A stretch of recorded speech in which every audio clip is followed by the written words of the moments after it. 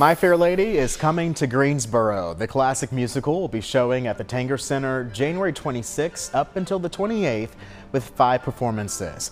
The story, which is based in London, focuses on a young woman named Eliza Doolittle who sells flowers and is molded into a, a lady by focusing on her speech and etiquette.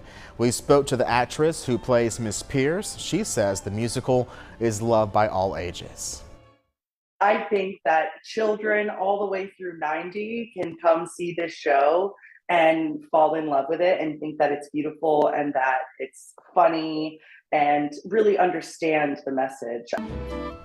Now, tickets start at $29 and are available right now online. You can find a link to buy one through this story at WXII12.com.